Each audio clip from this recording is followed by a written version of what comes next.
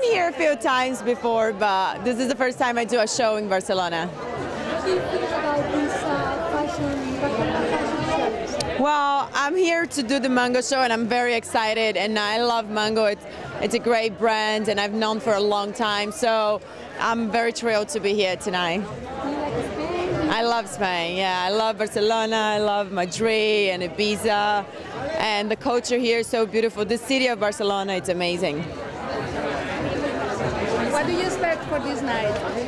Uh, I think it's going to be a beautiful show. The clothes are incredible, and the runway, the place, it's really beautiful. Like I never uh, walked in a in a place that you know like so much history, and it's pretty incredible. Have you made exercise? Know, Well, the runway, it's, I think the runway is going to be my exercise today. it's quite a long runway. Thank you so much. You're welcome. Thank you.